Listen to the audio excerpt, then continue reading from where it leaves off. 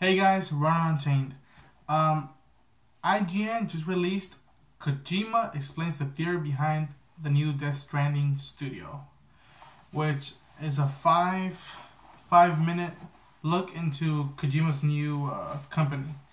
And uh, ever since the Death Stranding trailers dropped and I reacted to them for you guys to watch, uh, nothing but uh, excitement has been shown throughout all people, anyone who, who enjoys video games and uh, want a good story. So hopefully I get thrilled by seeing the behind the scenes of what's to come. So, so yeah, so here we go. Let's do this. Welcome to Kojima Productions.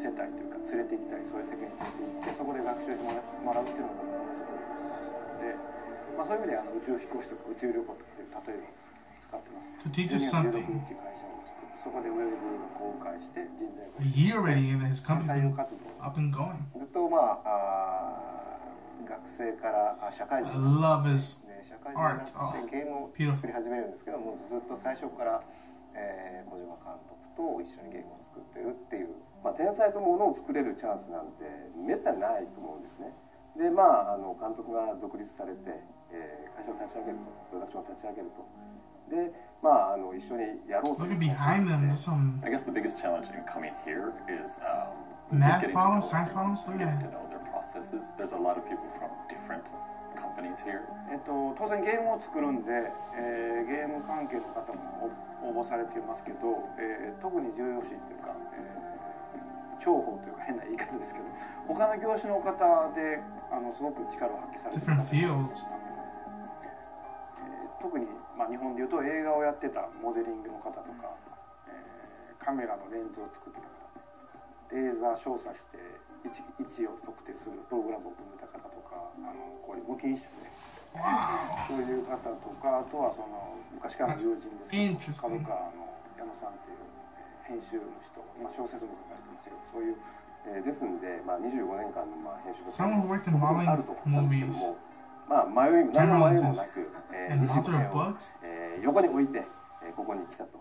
やっぱりその自分たちの考えてる思いっていうのは、まあ、それぞれだと思うんですけども監督のお一番最初のコンセプトをどうこう展開していくかっていう I have to read the subtitles, guys. Sorry if I'm not saying much, but damn, looks straight. Oh, the trailer. The biggest thing I think is compared to the other companies I've worked at, which are kind of have like a storied history, they have very kind of deep processes on how to do everything. But here, it's basically like cutting through all the red tape. If you want to talk to somebody, just go over and talk to them. 最大100人ぐらいですねでその100人を目標にこのスタジオの大きさをもっとちっちゃい細かい小物とかそういったセレクトも Making a したり comfortable environment to work in. えー自分たちが働きやすい環境を作っていこうっていうところがあー半々だったんですけどえーまあ、できることをやろうということでいろいろ回った中で一番印象に残ってるのはそのイギリスのメディアモディテュールでスタジオもその大きくないんですけども中が本当にスタジオというよりあの、まあ、みみんなが一緒にこう集まっているクラブというか家のような環境で、えー上下関係は間もなく水平な感じで.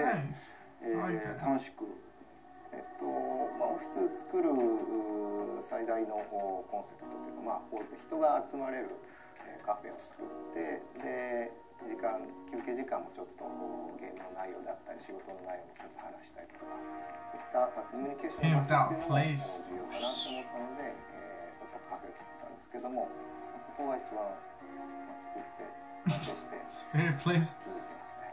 あ.の変わったというかですね、まあ、これまでは、えー、とあくまでも僕はあの外の人間として監督の仕事とか、えー例えば、まあ、仕事以外に映画の話をしたり、まあ、小説の話をしたりってあるんですけれどもあのでももちろんその時にはあこんな見方があるのかこんな考え方があるのかっていうことは、えー何度も何度も目から鱗がそれこそ落ちるっていう経験してたんですけれども中に入るとあこういう考え方をしているからこういう発想があるんだなってことが、えー非常によく分かってですね There's a lot more emphasis on being open and being kind of close with each other.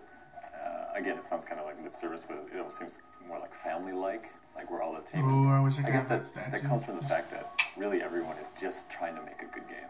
Like because it's a small company, there are you know risk as compared to a very large company, um, but you get the benefit of everyone just being very like sincere about what they want to do here every day, which helps a lot. まあ、あの会社立ち上げてちょうど1年なんですけども、えー会社の立ち上げとメンバーの募集と、まあ、当然何を作るかっていう設計図みたいなものをやりながら、まあ、 スタジオを探して、えーこの宇宙船ができたんで宇宙船で公開計画に基づいてようやく、えーリフトオフするっていうそういう段階です。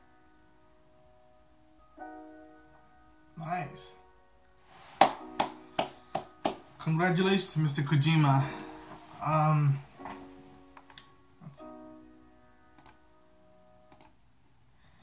Nice. Okay. So here's the thing: a lot of people might be shocked and be like, "Then you don't deserve. What are you doing?" You know. Hear me out.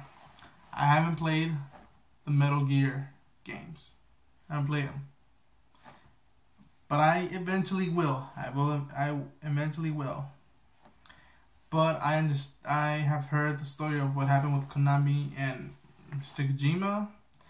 Uh, from someone who hasn't played his games, it it whether I play the games or not, it sounded and it is fucked up. My own opinion. But from seeing the trailers, seeing designs, so, you know, the astronaut design. I don't know what the heck is going on in this game, but I want to play it. I gotta experience it. And then hearing how he's building up his company from, uh, instead of just saying, you know, yeah, our game is gonna be revolutionary and this and that, you're gonna be able to do this, do this, do this, do this. And even though it's in probably early processes of, of the, of making it, but him saying that he wanted to teach something, he wanted to make people feel something new, and that it wasn't just about we gotta get people who make games and games only. Let's see who works good in camera lenses.